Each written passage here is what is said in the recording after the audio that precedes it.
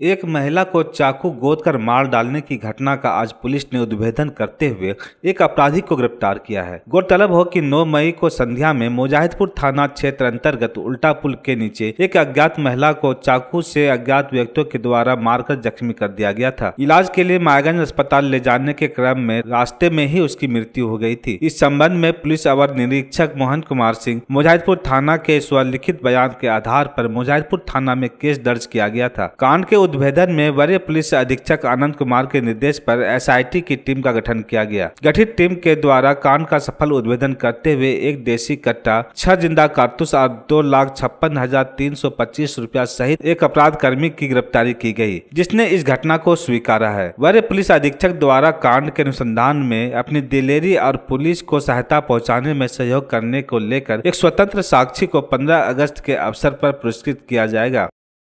उस महिला, जो स्वतंत्र साक्षी का जो बयान था, उसके आधार पर वे बता रही थी कि तड़पते हुए वह महिला सिर्फ़ एक ही चीज़ बोल रही थी कि हमको बचा लो, हम, हमको हमारा भैंसुर मार दिया। वाले थे परिवार वाले थे, उन लोगों से बातचीत की और पूरा इस कांड के अंदर जितने भी लोग संलिप्त थे, उनसे जानकारी हमने प्राप्त की और हमने फिर फाइनली एक जो उसके, उसका भैंसुर है फुचो मंडल, उसको गिरफ़्तार कर लिया गया। श्रावणी मेला को सफल बनाने के लिए भागलपुर समाहरणालय स्थित समीक्षा भवन में दूसरी बैठक का आयोजन किया गया, जिसमें विभाग से आवंटन मांगने की प्रक्रिया, कई विभागों के तहत टेंडर निकालने की प्रक्रिया से लेकर कच्ची कांवरिया पथ को अतिक्रमण मुक्त कराने को लेकर कई बिंदुओं पर वार्ता हुई। साथ ही साथ श्रावणी मेला में पहुँचे कांवरियों को किसी तरह की कोई परेशानी न हो, इसके लिए मूलभूत सुविधाओं में बिजली शौचालय, सड़क की मरम्मति जगह जगह जल की व्यवस्था एवं कांवरियों के ठहरने की व्यवस्था को लेकर वार्ता की गई। सड़क, पानी, बिजली, शौचालय, सफ़ाई आदि संबंधित विभागों को कार्य योजना के साथ बैठक में बुलाया गया। वहीं इस बैठक में अधिकारियों से रिपोर्ट ली गई। बैठक के दौरान ADM, SDM, law and order DSP, CEO, चिकित्सा पदाधिकारी, कई विभागों के अधिकारी सहित कई विभाग के वरीय कर्मी मौजूद थे।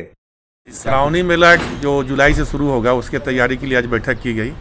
इसके पहले 18 पाँच को डीएम साहब बैठक किए थे तो एक उसका अनुपालन आज मांगा गया, उन लोगों को क्या क्या तैयारी है, विभाग से आवंटन मांगने की प्रक्रिया है, फिर आवंटन के अलावा टेंडर वगैरह निकाला जाता है, उसकी जो है हम लोग ने समीक्षा की।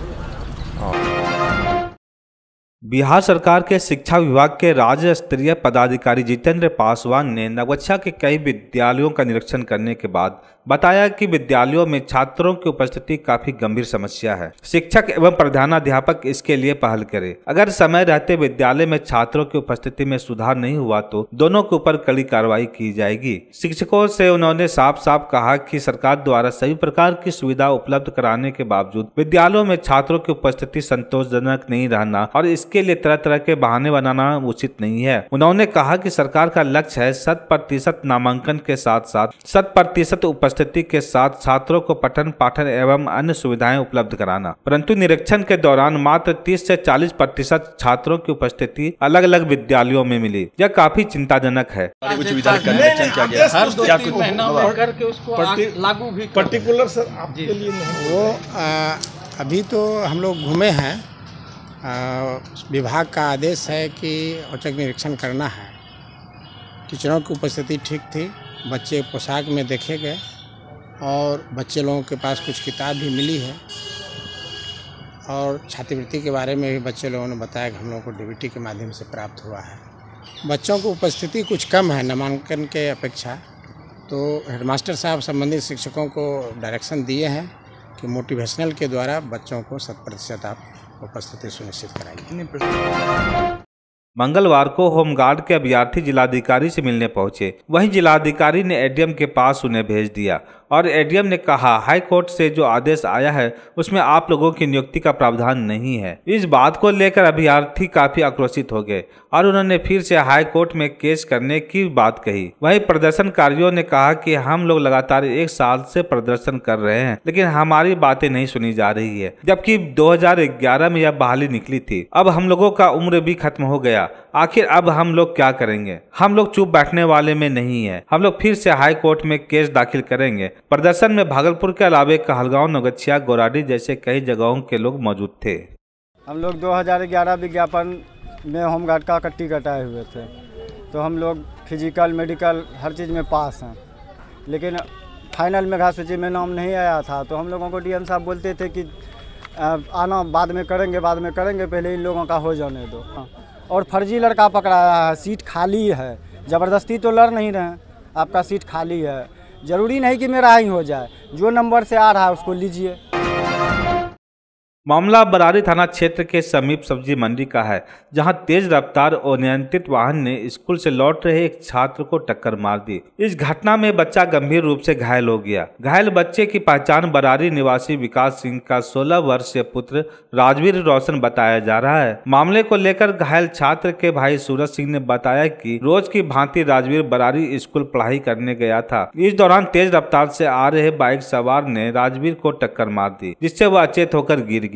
वहीं मामले की जानकारी मिलते ही घायल राजवीर के परिजन फ़ौरन मौके पर पहुँचे और आनंद फानन में बच्चे को इलाज के लिए मायागंज अस्पताल में भर्ती कराया जहाँ चिकित्सकों के द्वारा इलाज किया जा रहा है। वहीं छात्र को ठोकर मारने वाले युवक पास के ही रहने वाले हैं जिन्हें घायल के परिजनों ने बंदी बना लिया है। वो तो पढ़ के आ रहे थे हाई स्कूल से। तो अचानक जो है कि छुट्टी हुआ तो बाइक से लड़का सब जो है स्पीड में आ रहा था। जो अचानक उसको ठोक दिया। जानबूझ के भी नहीं ठोका मतलब स्पीड में आया था तो थोड़ा सा लग गया उसको जो वही राजवीर कुमार सिंह।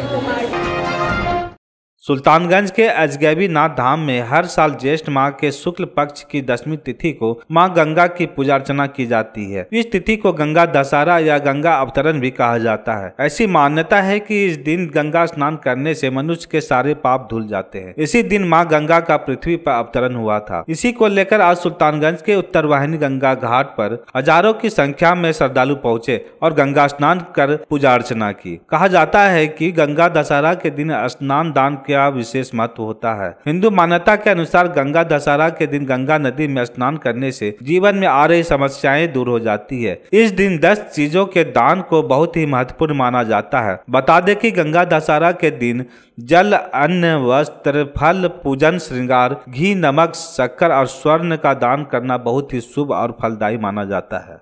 बिहार, झारखंड से नहीं आए हैं, इसमें नेपाल के भी हैं, उड़ीसा के भी हैं, छत्तीसगढ़ के भी हैं। और भारत के जाकर के जो है, इधर जाकर के जो है आपका बंगाल, मालदा जिला वाले सब आए हैं जो देख रहे हैं, उतना उतना भीड़ जो है, उन्हीं लोगों का है। आज गंगा दशहरा, भगवती का अवतरण हुआ था। भागीरथ ऋषि जो है, जो भगवती गंगा को लेके आई थी, आए थे, आज ही के दिन आए थे। भागलपुर के कचहरी चौक पर टोटो ई रिक्शा चालक और यात्री हवाई अड्डा का रहने वाला रोशन कुमार से जमकर तूतू मैमे हुई। यह हाई वोल्टेज ड्रामा भागलपुर के समाहरणालय स्थित कचहरी चौक पर हुई। वहीं हवाई अड्डा का रहने वाला रोशन कुमार ने बताया कि मैं नागरमल मॉल से कचहरी चौक बिजली बिल जमा करने आया। नागरमल मॉल के कचहरी चौक तक का भाड़ा दस रुपया होता है। मैंने बीस रुपये का नोट दिया, लेकिन ई रिक्शा वाले ने मात्र पाँच रुपये ही लौटाए। जब मैंने पाँच रुपये और वापस मांगा तो ई रिक्शा चालक आग बबूला हो गया और मेरे से काफ़ी तूतू मैमे करने लगा। ई रिक्शा चालक ने कहा, भाड़ा पंद्रह रुपया ही देने होंगे। इस बात को लेकर दोनों में काफ़ी बहस हुई और हाथापाई भी हुई। आग बबूला होकर ई रिक्शा चालक यात्री के कपड़े तक फाड़ डाला। बात इतनी बढ़ गई कि यह बात कचहरी चौक पर खड़े यातायात इंस्पेक्टर के पास चली गई। उन्होंने दोनों को समझा बुझाकर किसी तरह शांत किया। एक बार फिर पुलिस की कार्यशैली पर सवाल खड़े हो रहे हैं। एक महिला ने परवत्ता पुलिस पर मारपीट करने का आरोप लगाया है। बताया जा रहा है कि परवत्ता थाना क्षेत्र के गोनरचक में दो पक्षों के बीच किसी बात को लेकर विवाद हुआ। वहीं एक पक्ष के द्वारा पुलिस को घटना की जानकारी दी गई। मौके पर पहुँची परवत्ता पुलिस ने महिला समेत मासूम बच्चे के साथ मारपीट किया, जिसका वीडियो सोशल मीडिया पे वायरल हो रहा है। पुलिस की पिटाई से चौदह वर्ष कुंदन कुमार घायल हो गया, जिसका इलाज अनुमंडल अस्पताल में चल रहा है। वहीं महिला नंदनी देवी को भी आंशिक रूप से चोट आई है। जानकारी के मुताबिक परवत्ता थाने की गश्ती टीम को घटना की जानकारी मिलने के बाद घटना स्थल पर जाँच के लिए पहुँची थी लेकिन पुलिस ने एक तरफा कार्रवाई की, जिसका विरोध करने पर महिला और बच्चे को दरोगा साहब पीट दिए।